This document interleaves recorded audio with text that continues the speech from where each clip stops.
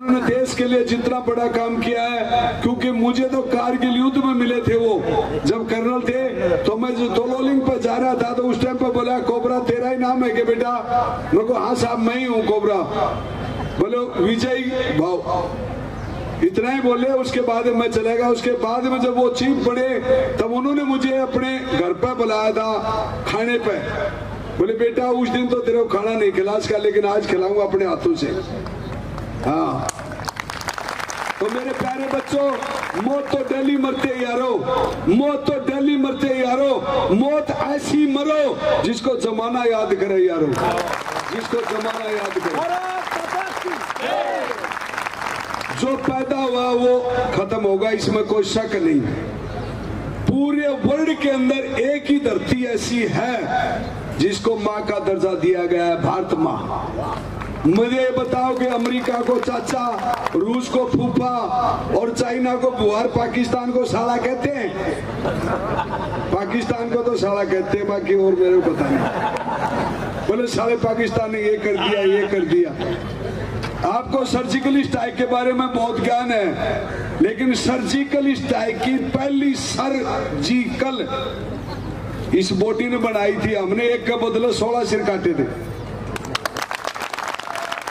एक के बदले सोलह सिर काटे थे। हमारा, वहाँ के पाकिस्तान की कमांडो का बंदे आए, दस, और हमारा एक जवान था, सुत्या का उसका सिर काटा उन्होंने। और उसके बाद में हम गए, उनके सोलह सिर काट के लाए थे। लेकिन उस टाइम पे ना तो टेलीफोन होता था, और ना कोई फोटोग्राफी होती थी, ना कोई किसी को बताने की कसम खाते थे कि अपने परिवार को नहीं बताओ कि आपने क्या काम किया है। अभी थोड़ी छूट मिल गई कि आप बोल सकते हो आपने काम किया। ये पता नहीं क्यों मिली है, किस लिए मिली है, वो आपको पता होगा। तो दोस्तों, मैं तो एक ही बात बताना चाहता हूँ कि आज से 20-22 साल पहले की घटना है, तोलोलिंग। तोलोलिंग वो पहाड़ी थी जिस पे हिंदुस्तान आर्मी की तीन बटालियन के दांत खट्टे कर दिए थे पाकिस्तानियों ने। हमारे हिंदुस्तान की तीन बटालियनों ऊपर चढ़ी एक बटालियन उसके सोलह बेटे शहीद हो गए। दूसरी गई उसके मतलब 22 बेटे शहीद हो गए। तीसरी बटालियन बड़ी जोश से गई बोले, हम तो आर पार हैं। लेकिन उनके 28 बेटे शहीद हो गए और डेड बॉडी भी नहीं उठानी दी। जब जनरल मलिक ने ऐसे वहाँ कारगिल के अंदर दराज के पास में द्रौपदी कुंड नाम की जगह है, उस जगह के ऊपर सम्मेलन बुलाया और हमारी बटालियन कारगिल में तैनात नहीं थी, कुपवाड़ा में थी। तो मैं तेरह मई को चार उग्रवादी मारे थे, नौ किलोमीटर बजा बजा के। एक मारा, एक किलोमीटर पे फिर मारता गया मारता गया, नौ किलोमीटर पे लास्ट पे उनका उग्रवादी बोलता है, कोबरा, मेरा पीछा मत करे। मेरे को भाग ले पाकिस्तान, तानी कौन छोड़ू? कितना तो दोस्तों, अतिताई को मारना उत्तम काम है। मेरे को मेरी बच्ची बोलती है पापा आपने कितने का आदमी मारे? मेरे को बेटा, गिनती नहीं करता था, मैं तो ठोकता ही ठोकता था। तो बोले, आपने तो पाप किया है। मैं को नहीं बेटा, मैंने पुण्य किया है। बोले, क्यों? वो को दुष्ट की आत्मा, उस दुष्ट शरीर से उस आत्मा को विसर्जन किया था। बोले, पापा, ये तो उत्तम काम किया। मुझको बिल्कुल ठीक कहा बेटा तुम। तो मेरे प्यारे बच्चों, मेरे ये ये सभी योद्धा लड़ाई लड़े हुए हैं। इनको मुझे बताने की ज़रूरत नहीं है। ये मशीन गनों के ऊपर इनकी आंगली लगी हुई है और दुश्मन की खोपड़ी देखी हुई है। इनकी सभी की जो खड़े हुए हैं और आज 1948 से लेकर आज तक जो शहीद हुए उनको मैं और आप सभी की तरफ़ से बहुत बहुत श्रद्धांजलि देता हूँ और ये कहना चाहता हूँ कि हमारे देश में एक बार फिर जन्म लेना तुम। वो आत्मा जहाँ भी है, वो अमर है। अगर आपको मनुष्य का शरीर मिलता है दोबारे तो भारत माँ पर ज़रूर लेना और खासकर मैं पूरे देश में घूमता हूँ, राष्ट्रों में महाराष्ट्र, किसी ने गलत नहीं लिखा। महाराष्ट्र। राष्ट्र तो सभी है, लेकिन महाराष्ट्र तो महाराष्ट्र ही है। इसमें कोई शक नहीं है। सुबह से मैं देखा, हर बच्चे के दिल में खुशी है, और दिमाग वैसे कर कि मैं माँ के लिए क्या करूँ? क्या ये बच्चे सोच रहे लड़कियों से बात करी, वो मेरे से भी तेज, लड़कों से करी, वो और भी तेज। अरे वाह, क्या तुम्हारे डीएनए, क्या पानी है तुम्हारा ये? रामकृष्ण की भूमि में पैदा होने वाले सभी बच्चों को मेरा साधुवाद, आशीर्वाद, और ये बात बताना चाहता हूँ आप लोगों को आज कि वो 12 जून की रात को मैंने और मेरे साथियों ने क्या काम किया? समय तो पूरा है ना? जय बोल के बताओ। बोलो, भारत माता की। हाँ है समय तो। है समय। इस इलाके में आ गया दोबारा। नहीं नाइन्टी थ्री में गया था मैं। फिर गया नाइन्टी नाइन में। तो कोड वर्ड से पता चला, कोबरा वो आदमी है, उसके पास वो खतरनाक बंदे हैं, जो कपड़े पहरे या नग्गे पैर। दुश्मन की खबर लागी उसको जब तक नहीं छोड़ा जब तक वो प्राण नहीं छोड़ा ज़िंदा नहीं पकड़ा मन। एक बार गलती करी, ज़िंदा पकड़ा तो सीओ साहब बोलता है कि बोलो दिगेंद्र इसको मारना मत। मैं सर, मेरा तो मारने का इरादा है। बोले, तेरा कोर्ट मार्शल करूँगा। मगर वो कागजों में होता है। बॉडी का क्या बिगाड़ोगे मेरा? बॉडी तो वैसे ही रहेगी ना। बोले कोर्ट मार्शल कर लूँगा मैं तेरा। इसको मारा तो। मुझे यो पूरे हिंदुस्तान को गाली दे रहा बोलो, देने दे गाली से कोई फ़र्क नहीं पड़ता मुझे फटता है। मेरे को दे दे, पर महात्मा को नहीं देने दू। और उसी टाइम उसको दर्द हेड शूट लिया, उड़ा दिया। सीओ साहब ने मेरी चार्जशीट बना दी। फिर ब्रिगेड कमांडर आया, बोले, इस लड़के ने क्या किया? बोले, इसने मेरे कहने के बाद उग्रवादी को मार दिया। बोले, गुड शाबाश चार्जशीट ने फाड़ के फेंक दिए। तो है, देश में सभी है। तो क्या हुआ, ये बच्चे कैसे उठे मेरा वसूल है खाओ खूब छिको मत बोलो खूब बको मत चालो खूब ठिको मत और देखो खूब तको मत। समझ में आई कुछ? तो मैं जब भी बोलता हूँ तो सुनने वाला को मज़ा आता है और मेरे को जब मज़ा आओगे जब आप सुनोगे तरतीब से। हालाँकि फ़िल्म बन रही है मेरे पे फिर तो तुम देख लोगे फिर तो मेरे क्यों बुलाओगे? फ़िल्म देख लोगे मोबाइल में देख लो कहीं भी। मेरा कहने का मतलब यह है, मेरे प्यारे बच्चों, कि 12 जो एक जून को हमारी बटालियन दो राजरीव को वहाँ बुलाया गया, द्रास में। दो, वहाँ जनरल मलिक ने बोला, मैं तीन तारीख को आपका दरबार लूँगा, इससे पहले तोलोलिंग, बजरंग पोस्ट और टाइगर हिल तीनों में से जो आपको जिस पर अटैक मारना मारो। लेकिन मेरा, जनरल मलिक ने कहा कि मेरा लक्ष्य पहला है तोलोलिंग, क्योंकि उस पर तीन हमले हो चुके और टू राजरीव एवरी विक्टोरियस है। यानी कि कभी भी हार का मुँह नहीं देखा मेरी बटालियन ने। 205 साल पुरानी बटालियन है। फ़र्स्ट विक्टोरिया क्रॉस विजेता यूनिट है मेरी, दो राजरी जो 9 दिसंबर 1856 को बुशायरा किला तोड़ा था। उसके अंदर भी मेरा पड़दादा था। हमारी बटालियन में ऐसे होता, दादा पड़दादा पोता, पड़ोता, सड़ोता। जो मेरा दादा उसमें था, मेरा पिताजी मतलब आईएनएम में उसमें चले गया था, सुभाष चंद्र के साथ में। फिर मैं गया मको दादा की बटालियन में जाऊँगा। तो मैं टू राजरीफ में गया। अभी मेरा भतीजा है, वो टू राजरीफ में। एक परिवार का एक बंदा ज़रूर रहता है हमारी बटालियन में। वो परिवार है हमारा। हम बटालियन नहीं मानते उसको। वो घर है हमारा। उसे इतना प्यार है जो अपने खुद के घर से भी नहीं। तो टू राजदीप को वहाँ बुलाया गया और बुलाते ही उन्होंने कहा कि तीन दिन बाद में आपका सैनिक समय ले लूँगा। मैं चीफ ने कहा, ये इतने तुम तोलोलिंग की रेखी करो। तो मैं, मेरा CO colonel M B Ravindranath और मेरे company commander major Vivek Gupta, बोला, कोबरा, अपनी टीम को तैयार कर। मुझको, सर टीम थोड़ी जाएगी कमांडर तो जाएँगे। हाँ हाँ बोलो, ठीक है, तू ले ले एक लड़का और ले ले। तो हम दो लड़के और सीओ साहब वो वो ग्रुप होता है हमारा लड़ाई के मैदान में। तो ग्रुप से तोलोलिंग पे ऊपर गए। हम पूरी रात चले, पूरे दिन चले, फिर ऊपर चढ़े हम। चढ़ने के बाद में ऊपर गए तो वहाँ एक बटालियन की डेड बॉडी ऐसे पड़ी हुई दिखाई दे रही थी, वो मोर्चा बना रखा उन्होंने। तो बोले, भैया, आपकी कौन सी है? मैं दो राजरी तो बोलो, ठीक है भाई, हम भी पढ़े तुम भी पढ़ जाना यही। मगर ना हम पढ़ते नहीं, हम घेरते बोले, कोई बात नहीं। तो वो सैनिक की, उसकी सोच होगी कि वो दुखी हो रहा था, बेचारा कई दिन से। तो मुझको ये सामने ये बॉडी उठाने नहीं देते, बोले, ना मैं कोई बात ना उठा देंगे मुझे एक दो दिन में। तो वहाँ रेखी करी तो मेरे शिव साहब तो सामने से रेखी करा, मैं उस नाले में गया, और नाले में जा करके वो ऐसी है थोलोलिंग वो यहाँ पर रुके थे एक पहाड़ी 600 मीटर के ऊपर एक पहाड़ी थी। मैंने पीछे से रेकी करके आया, फिर सीओ साहब बोले, मो, सर प्लीज़ मेरे साथ चलो।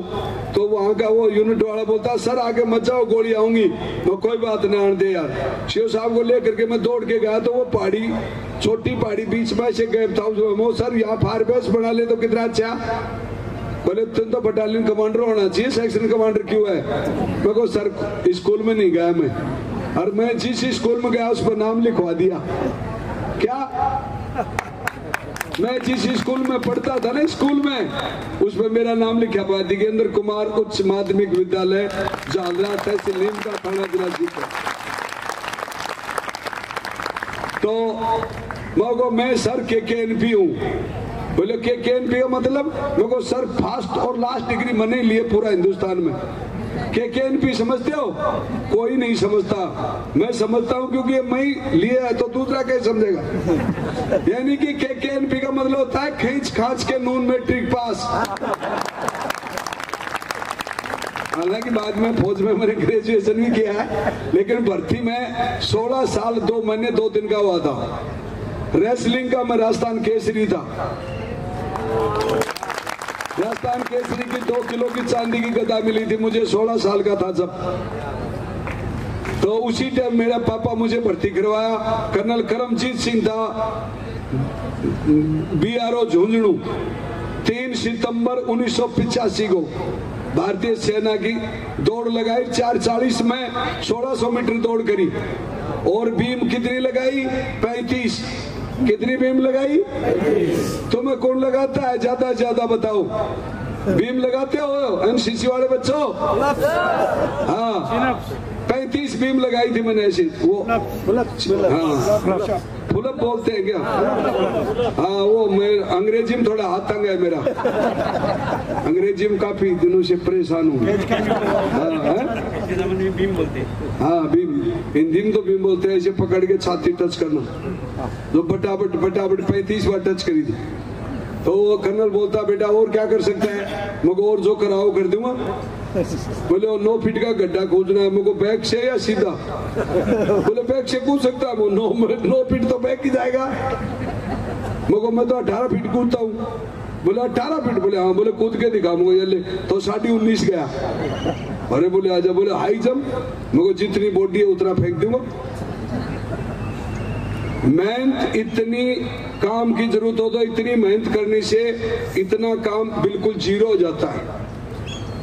मैं साढ़े चार चार घंटे वर्जिश करता था। या पूना एएसपीटी का अंदर बस स्टूडेंट लेके गया था मैं पीटी कोर्स का। उन्नीस में। Belgaum best commando Indian Army और ऑप्टिकल का रिकॉर्ड तो मेहनत करने से फल ज़रूर मिलता है। ये बातें तो मैं में बता दूँगा, लेकिन अभी तोलो लिंक पे चलते हैं, क्योंकि आपको और भी काम करना है। तो उस तोलो लिंक पे मैं पीछे से रेकी करके, और मेरे शिव साहब बताया सर, अगर कोई रस्सा मिल जाए मुझे तो मैं पीछे रस्सा बाँध सकता हूँ। बोलो, गिर गया तो? मुझको चढ़ गया तो? हम क्या करते हैं? एक बेटा बोलता पापा, मुझे फौज में जाना है। तो उसकी मम्मी बोलती है हाँ तू फौज में जाएगा। नेगेटिव मत सोचो। माँ बाप को भी बताना चाहता हूँ, बच्चों को भी बोलो पॉजिटिव ही सोचो कि हाँ बेटा, तुझे फौज में जाना है तो जाना बस, कोई रोक नहीं सकता। मैंने अपने छोटे भाई, हम चार भाई फौजी है। श्रीलंका श्रीलंका में दो एक साथ थे, एक एक गोली लगी। कारगिल में तीन थे, एक माँ के तीन बेटे एक साथ। कई बार पेपर में नहीं पढ़ा था। वो कोई और नहीं है बॉडी और दो बॉडी और थी। और तीनों के गोली लगी, लेकिन शहीद नहीं हुए, क्यों नहीं हुए, आपको देखना था। तो उस तोलोलिंग के ऊपर मैं अपने कर्नल साहब को बताया, कर्नल अमीर रविंद्रनाथ, मो सर यहाँ से रस्सा, बोले वो किट कहाँ मिलेगा? मो सर एन एस ब्लैक एड कमांडो में अभी छोड़ गया हूँ। तो वो वहाँ से मिल जाए। बोले, ये तो तू जनरल साहब को बता दो विद इन पंद्रह बीस मिनट में मिल जाएगा। वो हाँ। तो बोले, और मैं वो इंजेक्शन भी चाहिए जो आदमी थकता नहीं है ना। वो कौन से मेरे नाम तो याद नहीं, वो आर क्या बोलते हैं उनको? स्टोराइड क्या बोलते हैं? हैं? हाँ पप्पू पास हो गया। सही है, सही। वो वो वो वो। तो वो वाले इंजेक्शन चार चाहिए मुझको रस्सा चाहिए मुझे। फिर मैं पीछे से मैं रस्सा बाँध सकता हूँ। सामने से कितना भी अटैक करोगे, दुश्मन की मशीन गन लगी हुई है। और कितनी थी एचएमजी तैतीस एचएमजी ऐसे लगी हुई थी। बैंकर थे ग्यारह। लेकिन पहले पता नहीं, मैं वहाँ से रस्सा बांधा, पूरी रेकी करी। रेकी करने के बाद में आकर के मैंने शिव साहब को बताया। लेकिन उससे पहले एक बात छूट गई कि वहाँ से हम रेकी करके नीचे गए। जनरल साहब ने ऐसे दरबार लिया। मलिक साहब ने बोले, मुझे ऐसा सेक्शन कमांडर चाहिए जो वॉलेंटियर इस तिरंगे झंडे को फहरा दे। कोई भी तो मेरे बड़ी बड़ी डाडी थी। मैं डाडी रखता था फौज में होते हुए भी सरदार रख सकता है बाकी हिंदू नहीं रख सकता। लेकिन मैं रखता था। मेरी एक्सक्यूज करी थी जनरल कलकट ने। जिस दिन मेरा नाम कोबरा रखा था श्रीलंका में, उस दिन से वो जनरल कलकट बोला, बेटा, क्या इनाम चाहिए? क्योंकि डाडी डेली बनानी पड़ती है। अरे, तेरे कुछ नहीं मांगा। तो वो टुआईसी साहब और थे, एक ब्रिगेडियर साहब बोले, इसने आर्मी ला मांग ली, सर। ये बच्चा मामूली नहीं है, बोले आर्मी ला मांग ली। बोले, एक्सक्यूज कर दिया मैंने, लिख दिया। बोले फार लाइफ तेरी मर्ज़ी से बना, तेरी मर्ज़ी से काट। उसके बाद में मैं डाडी रखता था। तो वो डाडी वाली फ़ोटो देखी होगी ना आपने? सभी ने देखी है? मतलब उस महल को देखने से पता चलता है, खंडार पहले काफ़ी सुंदर था। है? और गूगल पे भी देख लेना, दिगेंद्र कुमार सर्च करके यूट्यूब पे भी देख लेना। और जैसे आज का भी डाउनलोड कर देंगे। मेरा कहना मतलब यह कि वहाँ जनरल मलिक ने दरबार लिया मैं वॉलेंटियर होगा। सर, जय हिंद। नायक Digendra Kumar best commando of सेना medal double chief convention card and Maharana पड़ता वीरता पुरस्कार। बोले, तेरे पास इतनी मेडल है पहले के मगर सर जगह मिलेगी, वहाँ छोटू को कोई कहेगी यहाँ मेडल मिलने वाला है तो वहाँ पक्का जाऊँगा। मेडल के लिए नहीं जाऊँगा, काम करने जाऊँगा। मेडल देने अगले का हाथ में। मेरा काम है काम करना, और शाबाशी देना उनका काम है। आपके पास आयो, आप मुझे धन्यवाद दो, वो आपकी मर्ज़ी है। लेकिन मैंने जो बातें बताई, वो मेरी मर्ज़ी है। तो मेरे दोस्तों, मेरे प्यारे बच्चों, की वहाँ जनरल मलिक बोला, बेटा, क्या चाहिए? मेरे सर रस्सा चाहिए, वो रसिया का, जिसकी लंबाई 100 मीटर, वज़न 7 किलो 600 ग्राम, उठाने की क्षमता 10 टन। बोले, ओके, मिलेगा। मुझको वो चार इंजेक्शन चाहिए जो अभी दीदी ने बताए थे। वो लगाने वाले जो थकता नहीं आदमी। बोले, ओके। बोले, आप रस्सा बाँध सकते हैं?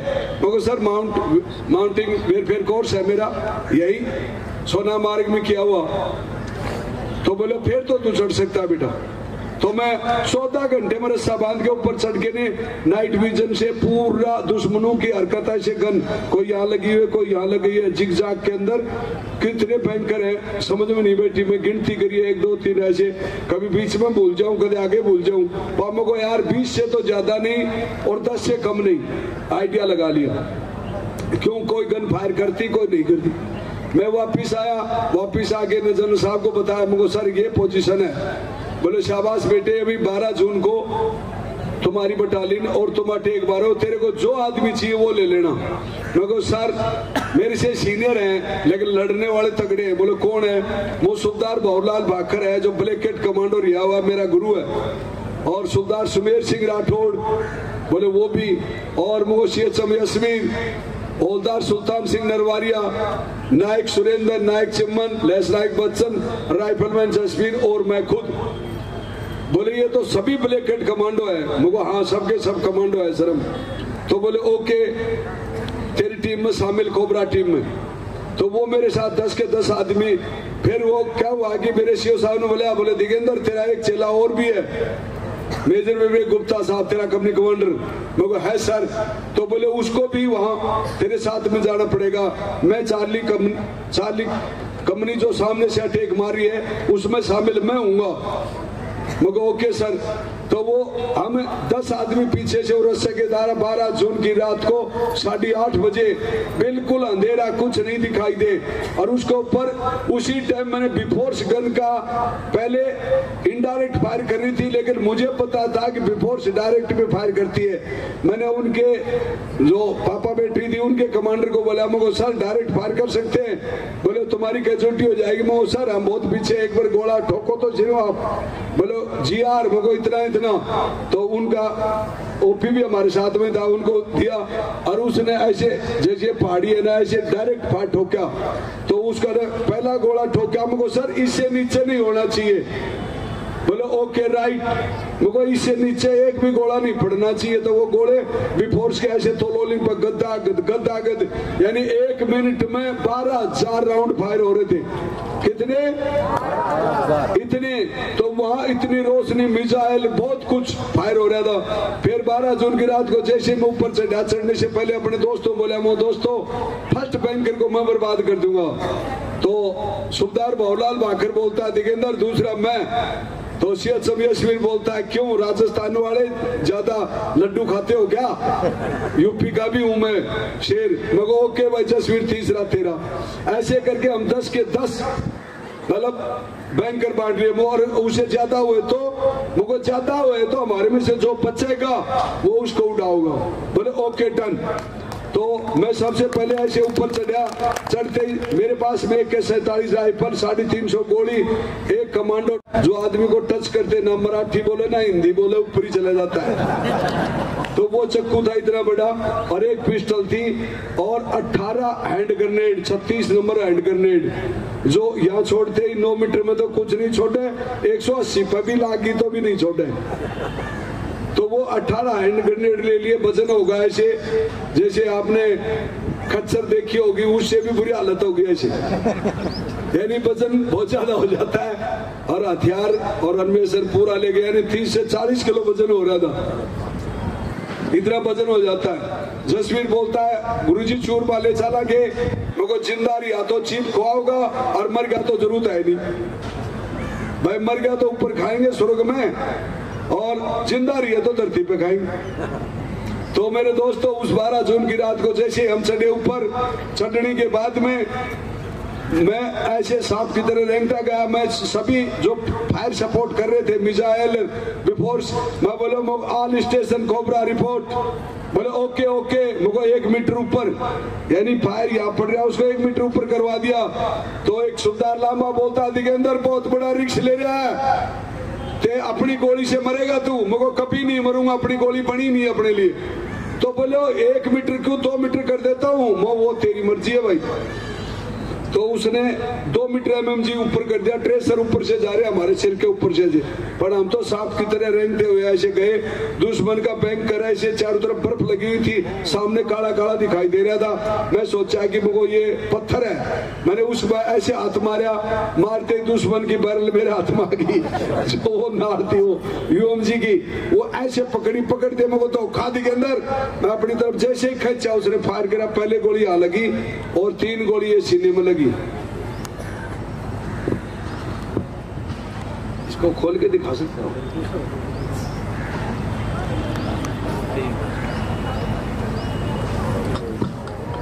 ये आपको दिखाई दे रहा है प्लेटफॉर्म पूना वर्गा। ये जो तीन गोली लगी यहाँ, दो गोली एक सैतालीस में लगी। इधर वाले बच्चों को नहीं दिखाई दिखाई दे रहा बेटा? हाथ खड़े करके दिखाओ। फिर तो तारी सिक्स बाई फाइव है सिक्स बाई सिक्स भी नहीं है। ये ये पूरा पृष्ठ लगा मेरे तीन गोली लगी। तीन गोली लगने के बाद दो गोली एक सैतालीस में लगी। तो मैं वहाँ भगवान को याद गया। मुझको भगवान है या नहीं है पूछते इससे क्योंकि पहले तो कभी ताल्लुक पड़ा नहीं था भगवान से। जब चोट लगती है, जब भगवान को याद करता है, अन्यथा नहीं करता। अगर आपको मोच लगती है तो आए राम। लागी। बोलते है ना ओ माई गॉड। है, नहीं तो आज खुशी में कोई नहीं याद करता। खुशी में तो हेमा मालिनी के गाने सुनते हो।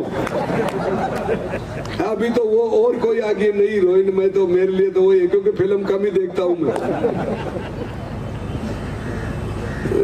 एक मिनट